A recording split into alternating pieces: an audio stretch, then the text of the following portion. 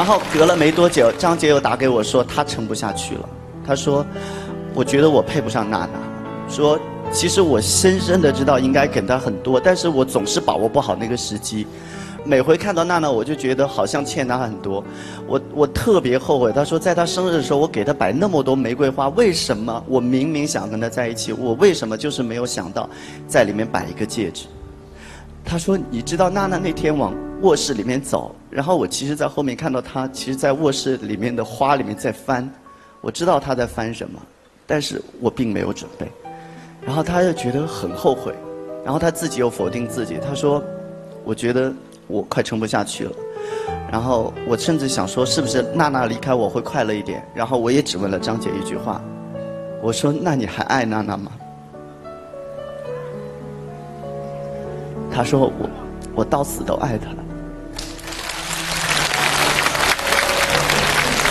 所以可能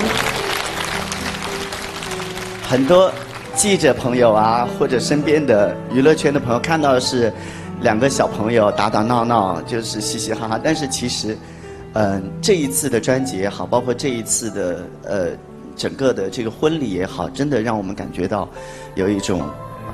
拨开乌云见到太阳，然后花都开好了的感觉，我有这种感觉，所以，我我才知道，当每个人放下自己的心结，从自己最大的迷迷思当中走出来，站起来，那才真的是最接近天堂的地方。我想这是这首歌的意义，对不对？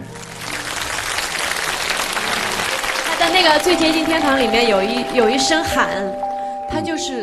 他的一种挣脱的感觉。我我特别喜欢那一句，因为那个叫声，我觉得我一定要经历过一些事情，一定要懂得去挣扎，懂得去让这个创伤让它愈合那种愈合的感觉。所以我那时候，我觉得我就站在山顶上那样喊的感觉，我觉得一喊，所有的乌云都没有了。所以你有记得是从哪个瞬间开始，你突然就开了透了吗？呃，可能是发了那篇微博吧。哪篇微博？就是七月七七夕那天，我们要在一起。你之前呃跟大家讲，就是在他们结婚前一天，他们还因为一些小事情在有一点小拌嘴，然后我还当真的在担心说怎么办？这两个小朋友一直在吵，突然就看到那个八卦新闻说结婚了，我想说绝不可能。后来娜娜就跟我，当时就告诉我说是真的结了。当时是怎么？你们怎么会突然想到就去结婚呢？他是一个非常没有安全感的人，所以。我觉得我怎么跟他安全感呢？之前是因为我觉得自己没有能力，但是我觉得现在，呃，也不是说有能力，但是我觉得我现在有这个信心，还有有这个勇气，还有有我一颗很疼爱他的心，所以我觉得我要让他感觉到温暖，我要让他每天回到家里的时候，不是一个冰冷的床单，而是一个在等他一个男人。所以一通百通。发了发布了这个婚讯之后，就不用，好像很多事情都变得那么简单，而且很简单。我觉得张杰可能突然觉得，哦，我是一个有责任的男人了，我是一个有家的担当的男人，所以我不能够再陷在自己的小情绪里面。所以这一通了之后，就真的一切都自愈了。但是与此同时，娜娜也发过一个微博，就有一天雷雨什么什么说被雷劈了什么？有一天雷雨交加的夜晚，呃，性格互换了。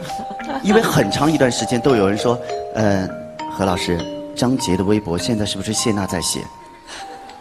对，很多人，包括歌迷也会这样讲，因为我会看评论嘛，然后我就说，哎，怎么都在说是他写的，这么看不起我吗？我的手机就 就拿给他这样他主要一下突换又变得太那个。有一天那个就天娱的天娱的老板跟我说，你跟张杰说一下喽，不要以前五天都挤不出一个微博，现在一天刷十几篇也。